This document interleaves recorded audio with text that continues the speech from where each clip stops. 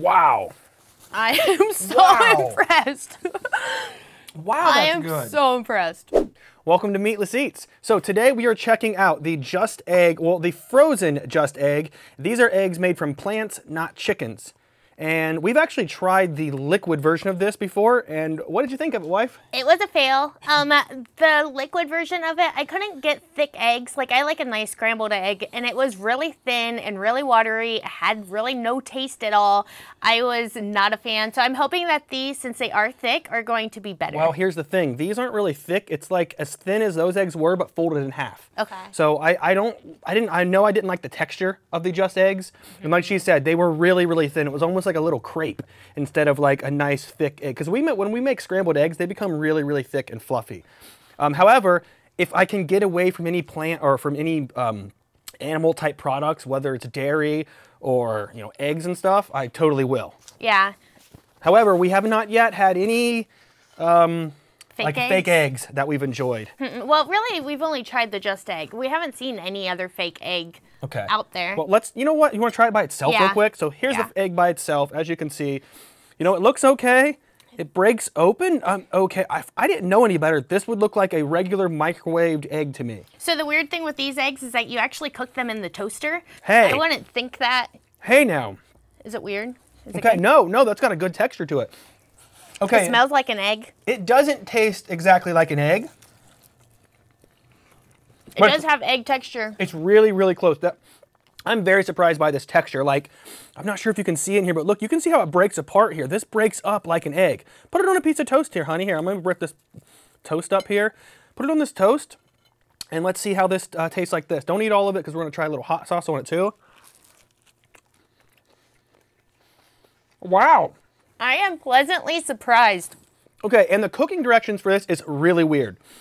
The way that they recommend you doing this says to place this in a toaster for six minutes on high. And the outside kind of gets a little bit hard, so maybe you can cook it for slightly less.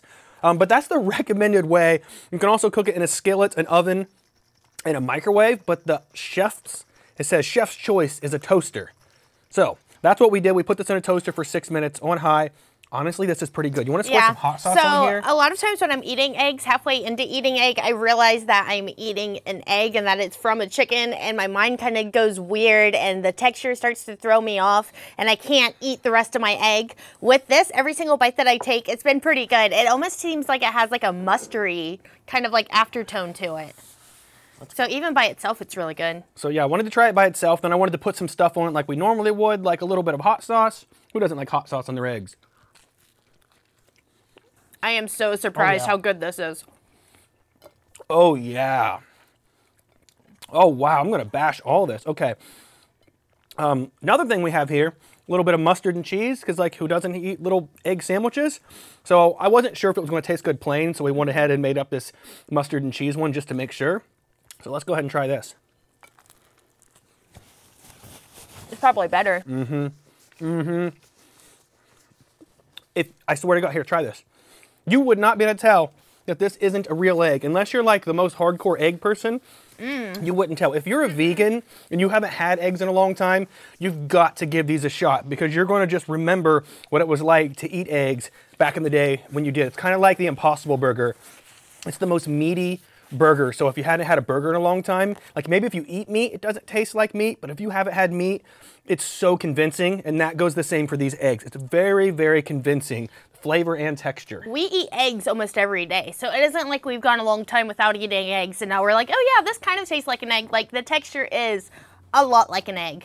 And I almost like it better than eggs. I feel like on burritos or on little impossible sausage burgers, it's Yeah. gonna be so good. I've been making my own uh, McDonald's, uh, what are they?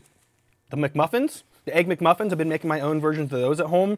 And now I can use it without actual eggs and put eggs on it. Still using cheese. We do have to find a good dairy-free cheese alternative, which we will be checking out. We're actually going to do a review of a like all the different kinds of vegan cheese that we can find. It's going to be pretty awesome. So subscribe to check that out. Yeah, let us know if you've tried these eggs and what you feel. If you have a way of cooking the liquid eggs to make them taste better than Wow. uh, our experience, leave it down in the comments and we'll be sure to comment back. Yeah, and uh, subscribe if you guys want to see more plant uh, plant-based food reviews. And until then, we'll talk to you guys next time. Bye. Peace. I'm going to bash this egg. Yeah, it's so good.